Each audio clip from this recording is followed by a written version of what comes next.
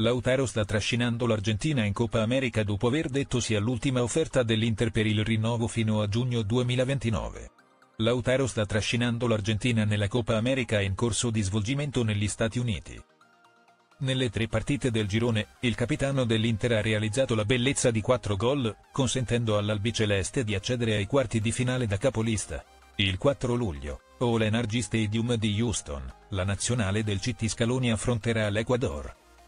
La serie di vittorie è frutto del lavoro che facciamo tutti, ha detto Lautaro in zona mista dopo la doppietta siglata al Perù nel terzo e ultimo incontro della fase a gruppi. A volte il pallone non vuole saperne di entrare, adesso sta accadendo il contrario e ci divertiamo. Anche nei momenti più delicati ero sempre tranquillo nel dare sempre il massimo per questa maglia. Lo scorso 27 marzo, contro Costa Rica, il numero 10 nerazzurro ha interrotto l'astinenza da gol con l'Argentina durata circa un anno e mezzo.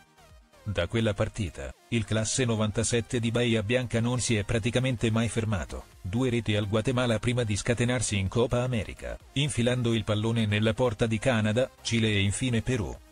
Lautaro è arrivato alla manifestazione continentale dopo una stagione straordinaria con l'Inter, conclusa con la conquista dello scudetto, il secondo da quando è a Milano, e del titolo di capocannoniere della Serie A ma pure con problemi alla caviglia che stavano per condurlo in sala operatoria, come da lui confessato sempre in mixed zone dopo l'incontro col Perù.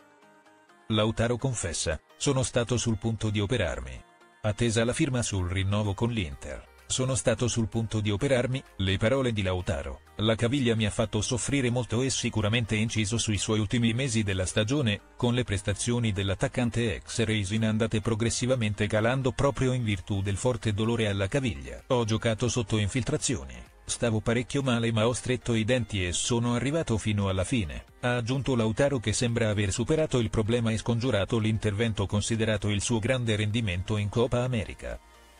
Al termine del torneo il meritato riposo, poi l'inizio di quella che sarà la sua settima stagione in maglia nerazzurra.